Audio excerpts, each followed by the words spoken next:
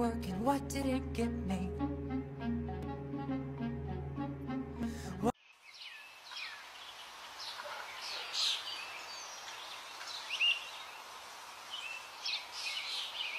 Guess who says she's found Jesus?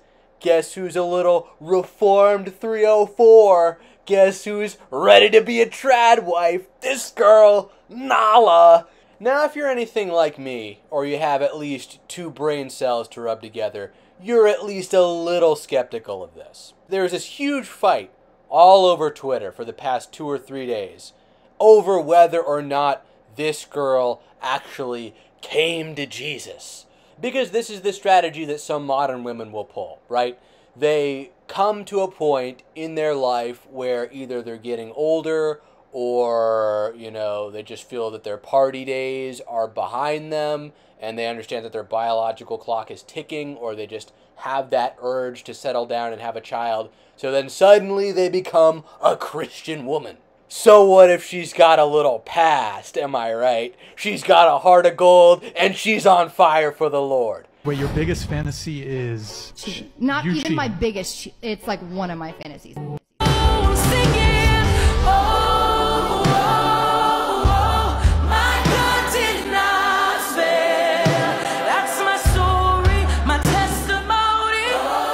Before any loser trad cons who may happen to be watching this video get on my case for questioning this woman's testimony, I will remind you that in the Old Testament there are literally laws against women lying about and downplaying their pasts. This is an issue which the Lord God does not take lightly. But before we really get into making fun of anyone, let's see what she has to say for herself.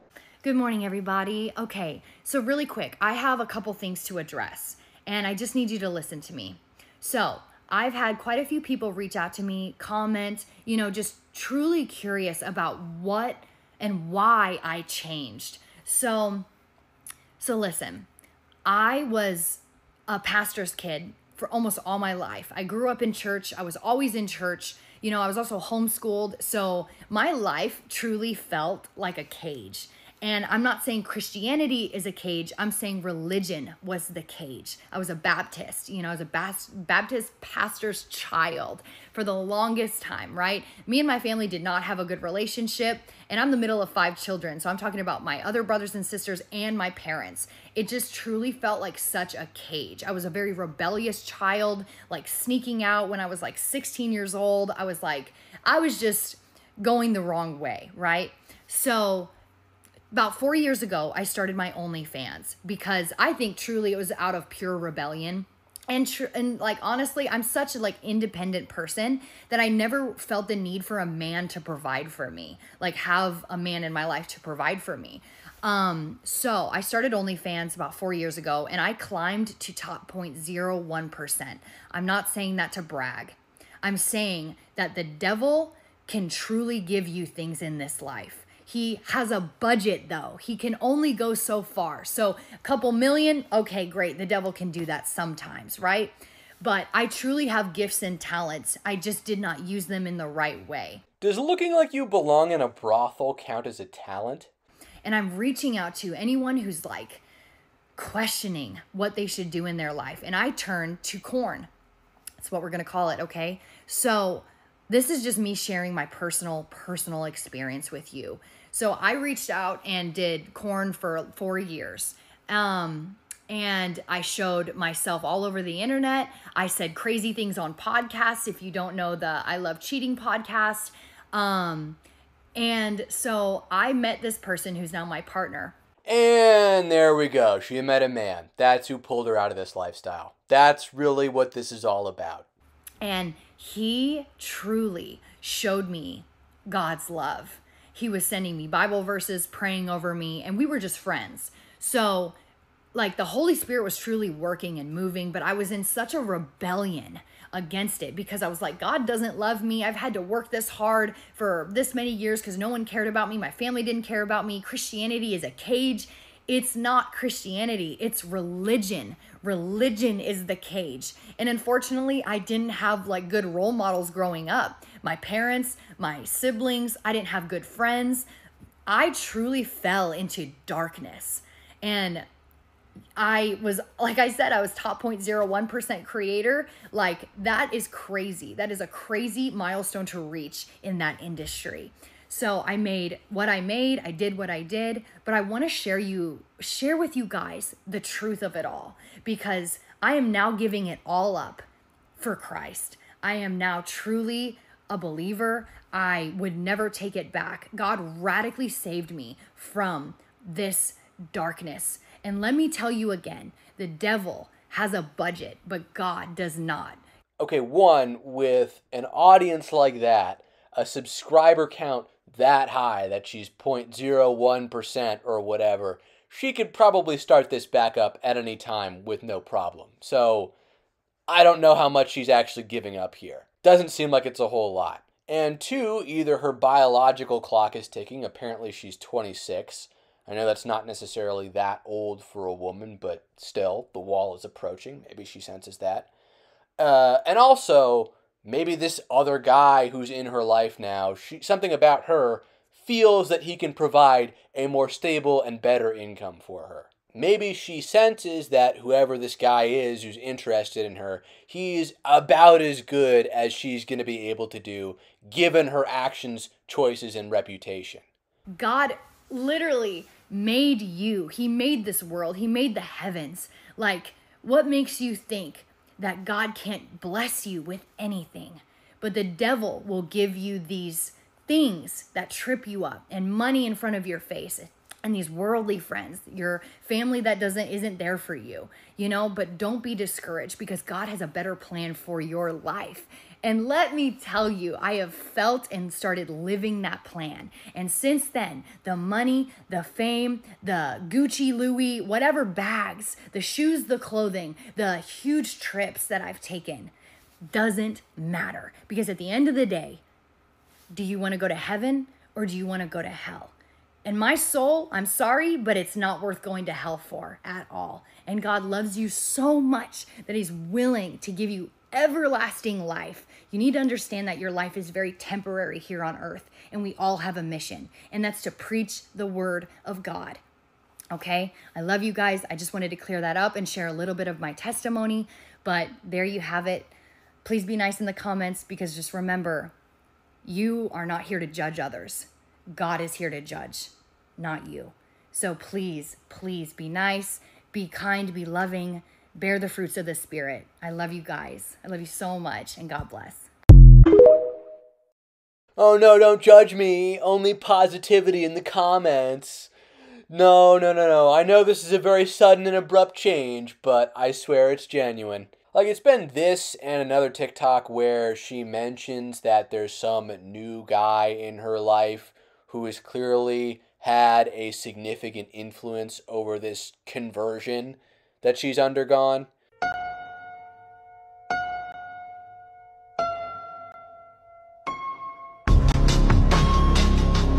Actual conversion in the West is pretty rare these days, and usually it does happen because you become involved with another person who's a part of a different religion. Or you're just turning to the church out of complete desperation. One or the other. But part of what caused the big controversy online is the fact that you had a ton of red pill people calling BS on this, and then you had a bunch of trad cons defending her. The cool Christian engineer says, Bruh, Paul was literally persecuting and deleting Christians from this world, but God's grace isn't enough for an OF girl. Bro, Paul had something to lose and he was martyred for his faith. Don't compare her to him. You know, this is the type of stuff that makes me embarrassed to even be associated with this religion. For me to say that I'm a follower of Jesus and then this man says, Oh, yeah, I'm also a Christian, bro. Why, in all of these tweets that I've seen on Twitter, X, whatever, has no one actually analyzed the calculus that's going on here? In her decisions and in the decisions of the guy she's apparently in a relationship with. Why, why haven't we gotten into that? Because you see all these allegedly trad women making these tweets going, Oh, why are these men so angry? Why are we getting so much hate? We never said you had to marry her. What's going on here? You know, and I understand that a lot of the videos I make are intended to generate clicks and stuff like that, but when it comes to stuff like this, these women's opinions aren't worth addressing, they're not worth arguing with because if you argue with stupid people, you become stupid yourself. And we all know they're just basically trying to make excuses for Nala, whether they'll admit that or not. Women are gonna run cover for their own, and I bet you most, if not all, of these girls have a past too. And really, a defense of one is a defense of all. They're defending themselves as much as they're defending Nala. You know, your average woman, even if she hasn't behaved in as extreme a way as Nala has behaved, still has the same 304 mentality here in the West. She still has a past, right? Like, a woman is really supposed to be a virgin until marriage, and the percentage of women who are living like that today is negligible. Even in rural communities in this country where people naturally label themselves as Christians, a girl has usually had at least two or three boyfriends and maybe as many hookups. Really, what people should be talking about, what's truly important here, is the decisions that both of these people are making. You know, the the risk that this man is taking on in dating a woman who has said the things that Nala has said publicly, who has behaved in the way that Nala has behaved publicly. This man is taking on a huge amount of risk in dating her. I cheat all the time. Are you a cheater? Yeah, uh, repetitively. Unfortunately, I get bored. Uh, it's not that the partner's not good enough; it's that I'm bored. I constantly want new things. I am like constantly on the lookout for like something that's gonna just spark me. Yeah, but doesn't that mean that you just don't like the guy? Shouldn't you just break up with him then? Yeah, absolutely. But I don't because you know what? I'm at least getting somewhere. But then the And other I kind of gets have. Sometimes cheated I do have feelings. Yeah, yeah. But this is this is the thing. They'll never find out that they're being cheated on. I'll just break up with them. No, I'm dead serious. They'll never fucking find out. You just said So you'll cheat and then break up. yeah. But you could just broke up and then just and then just fuck fucked. whoever you want. Yeah. Yeah, absolutely. But the cheating is like it's a fantasy. So it's like this Oh, is exciting for me to cheating. cheat because it's actually cheating. If I break up with him and then I go fuck someone, it's just a rebound. No, I mean I get it. I get it. You should get it. I mean most people cheat. Everybody. Yes, I think a, Reg. I, I think a lot of people cheat. Christ. Jesus Christ. Just break up with something mean. Just break up with the dude. What? That's not mean. That's not mean. How is it mean if they never find out about it?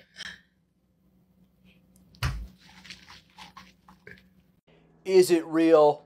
Is it for shock value? Honestly, it doesn't matter. Nala is a walking red flag, even if she is professing to now be a believer in Jesus and to have changed her ways. It doesn't matter. This is a bad decision to get into a relationship with this woman.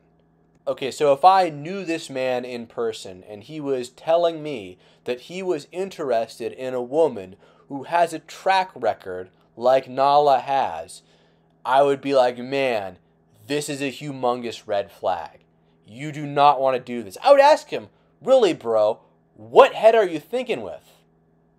Really? Like, wh- what's actually honestly going into this decision? He sounds pretty religious. I bet he's probably saving himself for the right woman. And I would have to ask him, you really think this OF girl is the woman you're meant to spend the rest of your life with? Like, seriously. That's what you're telling me right here, right now. For Nala, on the other hand, this is a very good decision on her part because now she's found some man who wants to take care of her and provide for her and uh, for some reason doesn't believe that she's a bad person and wants to spend the rest of his life with her.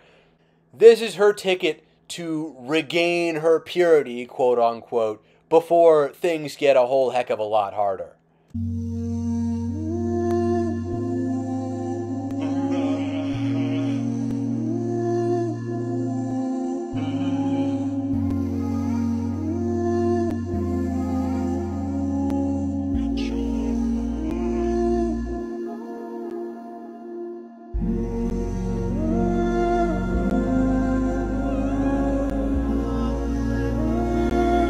I'm not one to throw around the word sacrilegious a lot, but this TikTok just feels wildly inappropriate in a spiritual way. And it's also worth mentioning that for a little while there was a controversy over whether or not she'd even deleted her OF account. Tradcons were pumping their fists in the air when she finally did, but it was really kind of touch and go there for a moment.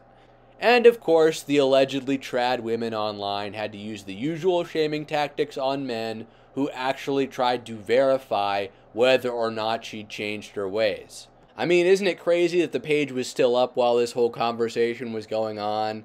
She didn't shut it down and then come out as a Christian. She came out as a Christian and then shut it down like the next day. But there was another video as well, so what we've seen so far isn't all Nala has to say. So let's see what other comments she has to make and see what her observations about the world are. You guys need to understand something right now.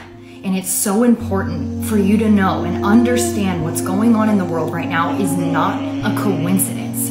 Jesus is coming back. He's coming back with a sword. You know, this world is getting darker and darker. You see it on the TV, you hear it in the music, when you go to concerts, when you're just out and about. There is evil and darkness surrounding us right now. Anyone else feel like the message is discredited when it comes out of her mouth?